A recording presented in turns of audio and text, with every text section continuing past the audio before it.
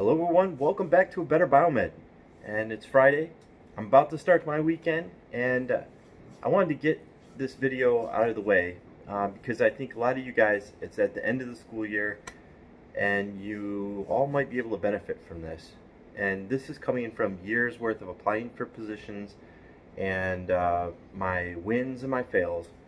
So I'm going to make a video about resumes and getting your first job.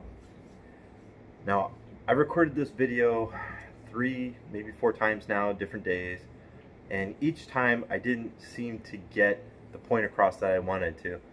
So I'm going to try and do it all in one video, and let's see how we do. Improv. So the first thing I want to talk to you guys about is your resume. Your resume is your introduction to who you potentially are going to work for. It shows not only who you are and where you were educated, but it also shows things like your attention to detail and your language skills. So your your resume, it's going to change as your career changes, and you should always keep it updated. But your opinions about your own resume are also going to change. Now, there's one point that I want to give to you guys your resume should be customized to the job you're applying for. Now, in the past, I've made the mistake of taking one resume and applying to a variety of different positions. And, you know, that was a pretty big mistake. Um, there's certain keywords that they're looking for in your resume to vouch for you and see if you even qualify for the position. And you have to understand that 90% of the jobs you apply for, your application will never even get past HR. And that's probably because you didn't tailor your your application and your resume to the position that they're asking for. So I'm going to show you guys my resume, and this is an old one. Now, I'm going to tell you guys right now, a lot of you guys are going to have a different opinion on resumes than me. And that's fine you know, that's the thing about resumes, is there is no real standard. But there's certain things you have to have in a resume, and there's one very important thing that I think that you guys should know that a lot of guys just don't seem to grasp. Keep it brief. Now you have to remember, the people that you really want to judge your resume are going to be the hiring managers. And they're going to be former technicians like you and me. And these guys, not only do they not have the time to go through a whole bunch of fluff, but they just want specifics and they want it truncated down, but they want it to be organized and they want it to be accurate and they want to be able to just brief through it really quick and figure out who you are as a technician. So I'm going to show you mine, and it's going to be a, a, a, really brief resume. Mind you, this is an old one. This one is from probably four or five years ago, um, and it's definitely changed since then. I'll show you where it's changed here and there, but nonetheless, it's it's my resume, and it's one that's gotten me to 60,000 plus per year jobs. So, uh, you know, when I got out of the military, this is pretty much what I used, and it, it worked just fine. So if you guys have a different opinion on how a resume should be, that's fine, that's wonderful. Um, I appreciate that you have a difference of opinion. Feel free to create your own video on resumes and post it. I'd love to watch it. Um, but don't criticize me based on how my resume is because I'll tell you right now, I've had some very good success with this resume. And in fact, this rough resume format, brief as it is, has gotten me to positions, including the one that I got right now. So, with that said, I'm going to show you guys uh, my resume from five years ago, I think. So, let's bring you on over so you can see what's going on. So you guys can see, this is actually a draft of one of my resumes, and I blacked out some information because I would appreciate some sort of privacy, um, I guess. Now, if you're applying for a federal position, there's certain categories that you're going to have, and you just can't get around that. And you can see here, I exited them off, and later on I added an intro paragraph which is one to maybe two sentences that explains who you are. Don't use a bunch of fluff. This is where you lose people. That intro paragraph, you start saying you're an inspiring person and yeah, you saved some children from a fire or whatever. That right there will lose people so quickly. So, the most important information is your contact info. Make sure this is current. This is the most frequently changed piece of all the information that's in here. Make sure it's current. If you get a new cell phone, you got a new telephone number, if you got a new street address, if you have a new email, make sure that you always update this information. I have also fallen faulty to this. And I have lost jobs because this information here was wrong. So make sure that this is absolutely current. So you see here how mine is organized. Uh, you start with the contact info, then you go into an intro paragraph, and then I go into work experience. And my work experience tells who the hospital is, who my supervisor is, the dates that I was hired, and you know how long I worked there, the salary, and the hours per week. Those are all varying things. Uh, some people have them, some people won't. Doesn't matter. But here is going to be this is the bread and butter of this whole category. Responsible for. So you're going to describe what you were responsible for at that position. Now, some guys will list off specific pieces of equipment. And I'll tell you right now, don't list off specific pieces of equipment unless the job you're applying for is for those specific pieces of equipment, like let's say ventilators, anesthesia machines, dialysis, or something like that, or even very uh, variable X-rays. You know, if it's a vendor-specific piece of equipment, by all means, add it right here. But I have general information. You can see right here. I say responsible for Roper Hospital, OR suites, anesthesia, telemetry, PACU, ultrasound, James Iron James Island Surgery Center and West Ashley Eye Center, purchase research, modifications and recalls, equipment inventory, contract management, advanced troubleshooting, repair of computer based medical systems, creating and maintaining spreadsheets for inventory, digital forms, and paperless processes. That was what I was responsible for. I didn't list off specific pieces of equipment. That is one area where you will instantly date yourself because as you guys know, as you progress through your career, a lot of this equipment that you might have worked on way back here, that's no longer even going to be in the field. So don't list off specific pieces of equipment. List off rough things that you're responsible for. And then you for you military people, you can see down here that I have US Air Force, Los Angeles, California, my dates of service, my rank, and uh, my supervisor, and you can see down here, I also listed uh, some of my other responsibilities, like uh, the inspections that I passed, and some of the roles that they assigned for me. And then down here, I itemized again generic terms for uh, what I did. That progresses over here. another duty station I had, Landstuhl, Germany, and all the stuff that I did and they get it. If you do labor and delivery, if you do uh, central sterile supply, radiology, I mean, they know that you just went through a whole bunch of equipment in that area. You don't have to list them all out. That's how you lose people. And you can see down here, U.S. Air Force, uh, that's when I was a journeyman, and my prior jobs before the military. And then the second most important piece to this entire thing is your education. And because you're biomeds, you're going to have equipment education. You can see right here that I list off my ultrasounds, my A plus certifications, and uh, some of the other stuff that I've done. List them all off. I proceed over to here, some other educations, relevant coursework, uh, prior jobs, some of the stuff they had me do. And then down here at the bottom, affiliations which are going to be groups that you're part of. Say you're part of a biomed society, or in this case, um, me and my wife, we own Creative Fabrications, which is a prototyping company.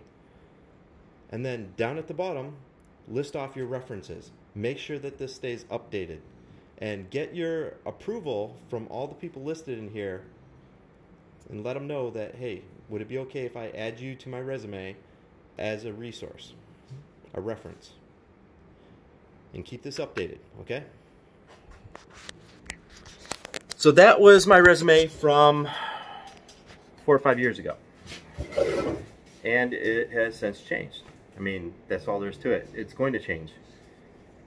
And as you go further on from being a technician into maybe management, it's going to, you know, change. You're going to add more words to it. You're going to change from being a technician. You're going to change some of the categories to manage a team or something like that. Uh, instead of as a team, I worked on this equipment. So it's a living document. It's going to change throughout your career and keep it updated. Now, I want to talk about getting a job because this is a part where a lot of guys are a little confused at what really happens. Now, let's say that there's a hospital that you really want to go and work for. Sometimes there's only one hospital in a city or a town and you really want to work there. Let's say there's not a position open. It happens. You need to use your sources. Your sources one of your top sources is going to be LinkedIn. Research the medical facility. Find people that work there, especially biomeds. If you can't find biomed, find people that work in facilities or that they're a director of another department and just write them on LinkedIn and say, hey, I'm very interested. Your facility looks awesome. I'm thinking about moving into the area. Is there any chance that you could get me some sort of contact information for the biomed department? and believe it or not, people they will respond and they'll write you back. And if anything, one day you're gonna miraculously get written by the director, like I did for this current position, and uh, you're gonna have a wonderful conversation with them offline before you even apply for the position. So use LinkedIn; it's a very good resource. Don't treat leaked. Don't treat LinkedIn like it's Facebook. It's not. It keeps a record of everything you say what your comments were. If you're a negative person, there's a whole history. We can find out everything about you. So use LinkedIn like a resource, keep it professional, and keep it organized and current. Your second resource, find local vendors. Like, let's say you fix surgical equipment. Find a Mizuho OSI table vendor. Call the company and say, who's the local repair rep? And you know, find Steris, Karl Storz. Find out who the repair reps are in your area, and that repair rep will tell you who the people are that are in charge of that hospital. Use your local vendors. They know everything. They know jobs that are coming up. They know people that are retiring. They know people that got injured or fired. Local vendors, they know everything. Use your local vendors. Some of my best friends in the past, some of my best resources were local vendors local biomed societies. Go on Facebook. Look up your local biomed society. Almost every state, almost every locality has one. Look them up. Contact somebody from that from that biomed society, especially board members. And then ask them what jobs are coming available in that area. They'll tell you what hospitals are being built, you know, who's in charge of each and every hospital your local biomed society is a very big resource and I don't think a lot of people use them the correct way. It's supposed to be a bunch of senior professionals that get together and we try to make the career field better. But at the same time, they know each other. They know all the hospitals. Half of them have worked around town. So use your local biomed society, try and reach out to them, be polite and professional and courteous, and just tell them that you'd like to locate to the vicinity and you would love to have the opportunity to work in one of their hospitals. And they will say, hey, I work for this hospital. Why don't you come on down? We'll introduce you to a director or send over a resume. You know, I'll see if I can read over, maybe help you out and relay it over to somebody that I know. So use your local biomed societies. Volunteer. If you're in especially a junior biomed, if you're in a town and there's not very many positions open, volunteer. While you're in school, you can volunteer to be a biomed while you're in school. Sometimes you're going to be a gopher. You're just going to run around and fetch equipment. You might not be working on it, but you'll be there. You'll be finding out hospital culture. You'll be getting introduced to many people, and you will be getting your feet wet, basically. I mean, it's it's the hardest part to this job. You got to start out somewhere. You got to start out slow. Volunteer. I know one guy. Uh, one of my most respectable friends. He uh, volunteered for over a year as a biomed, and he's an older gentleman, and uh, he just came in one day and decided that he wanted to make a change in his life, and he didn't even have to work. As far as I know, he probably didn't have to work another day in his life because he was, you know, he had done very well for himself, and uh, he came into our hospital. He volunteered. He did infusion pumps for a long time and he was trainable. He was an awesome worker, and he ended up coming up and working with me with the operating rooms. And when I left that hospital, he took charge. He was that awesome of a worker. He just took charge, man. So I'll tell you right now, volunteer. It introduces you to people. It gets you used to the hospital. Maybe you don't even want to work for that hospital. Volunteer and find out if you like that hospital or not. There's certain aspects of the culture you might not appreciate. There's certain things you might love. Volunteer. And one of the things I want to get across at the very end of this video is apply for every single position, whether or not you qualify. I've applied for Biomed 1 positions as a senior level Biomed. I've applied for Biomed 2 and Biomed 3 positions. I've applied for Biomed Director positions. Why? It's not about you getting that position. It has nothing to do with that. What it is, is it's getting you, as a technician, getting your name and your information onto the desk of the person that's going to be hiring for that hospital. Once they figure out that, hey, this dude's really talented, look at this resume, I think we can find a spot for him. And sometimes they'll move technicians around just to make a place for you because they think that you would make a great addition to their team. So apply for positions, whether or not you qualify, and that way there you get your name cycled around. People get to know you. That's the hardest part about getting this job is, you know, you have to get yourself out there. You're you are like a product. You have to advertise yourself. And whether or not you qualify for a position, if you can just get somebody on the telephone and talk to them and show them that you can communicate well, that you know yet what your medical equipment is and you know your job. That's the hardest part. And I'll tell you what, I hope nobody gets offended by this out there, but there are so many technicians out there that need to improve their skill set.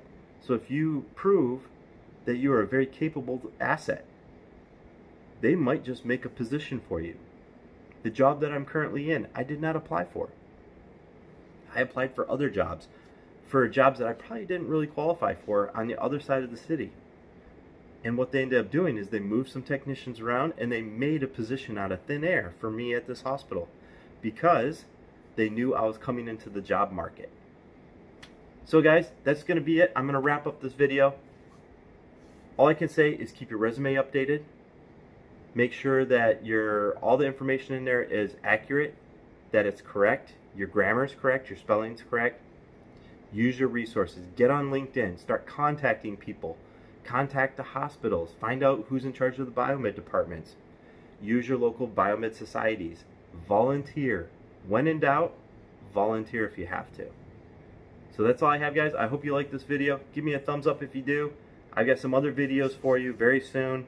Um, it seems like this improv type of format does me quite well because when I try and script it out and whatnot, later on I, I just think, oh man, I forgot some information. I just got to get it to you. But when I sit down in the calm of my shop here in my garage, I just, I can just be very clear and I can just tell you guys what I really want to say. So I hope you like it and uh, I'm going to bring you guys some really cool stuff really soon. I've got to edit some footage, so have a good weekend, guys.